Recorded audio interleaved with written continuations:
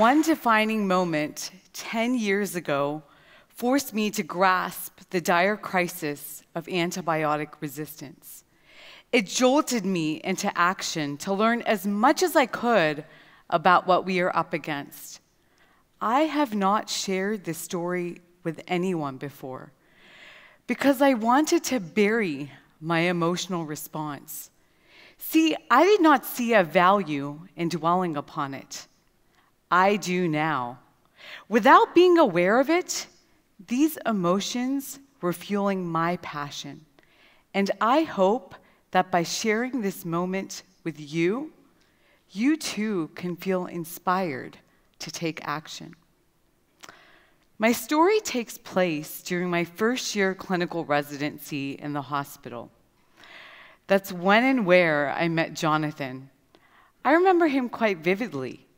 He was 27 years old and he just got married. He was telling me all about his honeymoon in the Cayman Islands the zip lining, the romantic dinners on the beach, something I could only dream of back then. When he got back from his honeymoon, he went skiing. And while doing one of those flips, thinking he was in the Olympics, he broke his left femur and that's the strongest bone in the body connecting the hip to the knee. This required surgery. His operation went well, but a few days later, he woke up to severe pain in his left hip. It was completely swollen, bright red, and hot to the touch. His diagnosis? A bloodstream infection. He was placed on an initial course of antibiotics, but I had to wait a few days before receiving the final microbiology lab report back confirming which antibiotics the bacteria would even respond to. Being a young clinician at that time, I remember thinking, I got this. Simple. He's young, and otherwise healthy, he is going to respond or be susceptible to any antibiotic. He is going to be just fine. Day three or four, I checked in on Jonathan during my daily rounds in the hospital. And I remember him telling me that he felt like his entire body was just deteriorating. That's around the same day that his infection spread to his brain and his lab report came back. I looked at that computer screen trying to figure out how to treat this infection, but there was the letter R for resistant written next to every single antibiotic, meaning that the bacteria would not even respond to any antibiotics. R, R, R. Where was the S for susceptible? What are we going to tell his wife? I could do nothing. Jonathan never made it to his one year wedding anniversary. This experience fundamentally changed the course of my personal and professional life. It was a pivotal moment that led me into specializing in infectious disease research and eventually defending my thesis on the exact resistant pathogen that consumed Jonathan. Here I stand now, over 30 research papers deep, and serving as one of the US ambassadors to lead this global fight against antibiotic resistance. And this is where you come in. I need your help in this fight. I am going to arm you with three action items that you can start implementing today to make an impact and to reduce the deadly effects of antibiotic resistance. But before we get to these three action items, I think it's important for you to understand some of the science behind antibiotic resistance. The story starts in the 1920s with the discovery of penicillin by Alexander Fleming.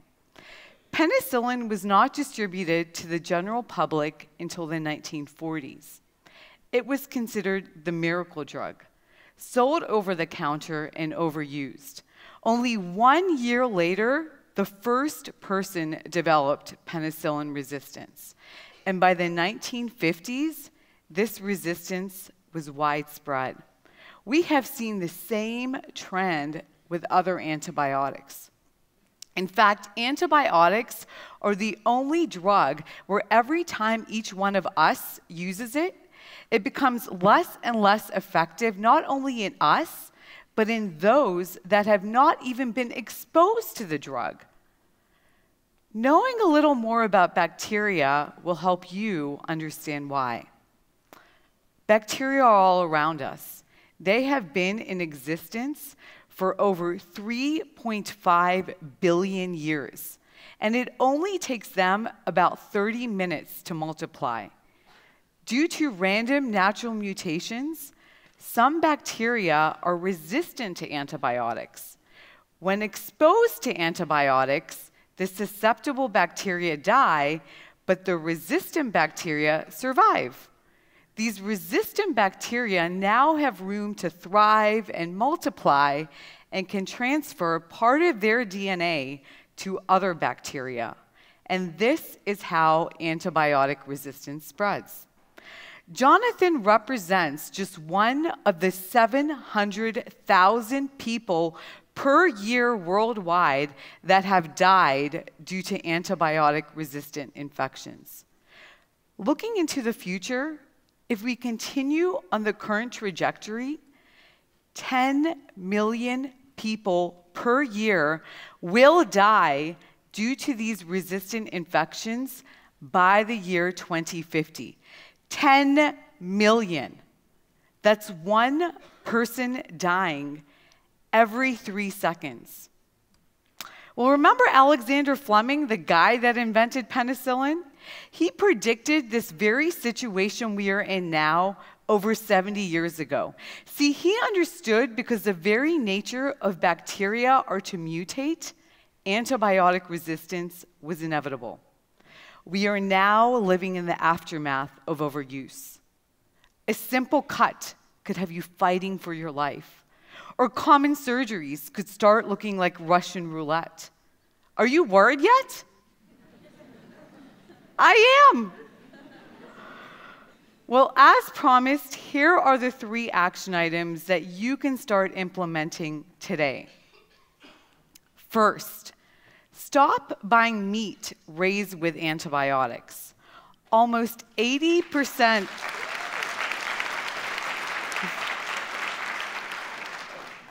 Almost 80% of all antibiotics in the United States are not taken by people, but they are used in animals. In 2013, over 130,000 tons of antibiotics were used in animals worldwide. This number is projected to exceed 200,000 tons by the year 2030. Let me put this number in perspective for you. An elephant weighs about six tons. This number is equivalent to around 34,000 elephants. Antibiotics are primarily given to animals as growth promoters. While we may not directly take in those antibiotics, we do ingest the bacteria within those animals. So, if those animals were carrying antibiotic resistant bacteria, that would be transferred to you and the rest of the environment, including the water, the soil, and the air that we breathe. Here comes the solution part. If you are buying meat check the label on that package to make sure that it states either one, USDA organic, or two, raised without antibiotics, or no antibiotics administered, accompanied by a USDA process verified shield. If you are dining at a restaurant or a fast food chain, check the menu to make sure that the meat is antibiotic free. If it is not stated on the menu, ask a worker at that restaurant. Second, use antibiotics sparingly. In just the outpatient setting alone, over 250 million courses of antibiotics are dispensed per year, and about one third of these are inappropriate.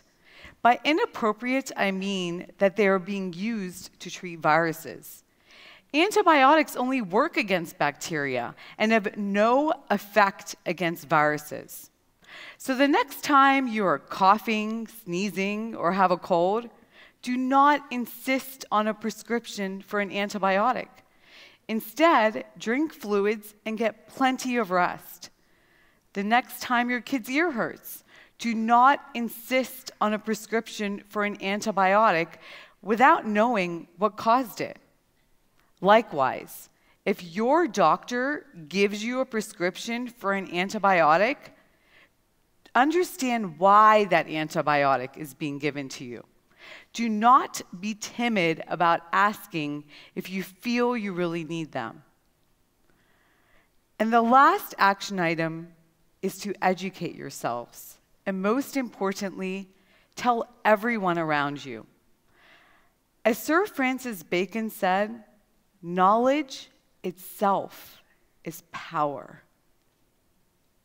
You can educate yourselves by going to websites such as the Centers for Disease Control and Prevention and the World Health Organization, where you can learn more about what appropriate antibiotic usage is.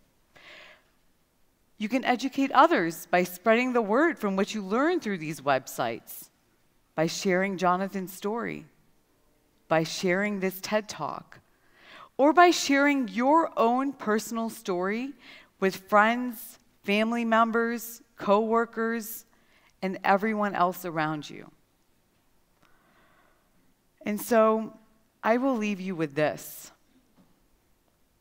I once heard a speech by political activist and Nobel Prize winner Jody Williams.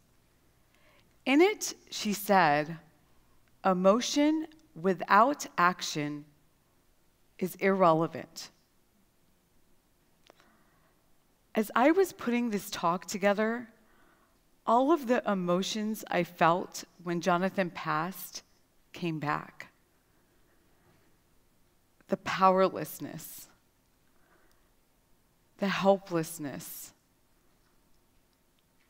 the anxiousness, the pain the sadness.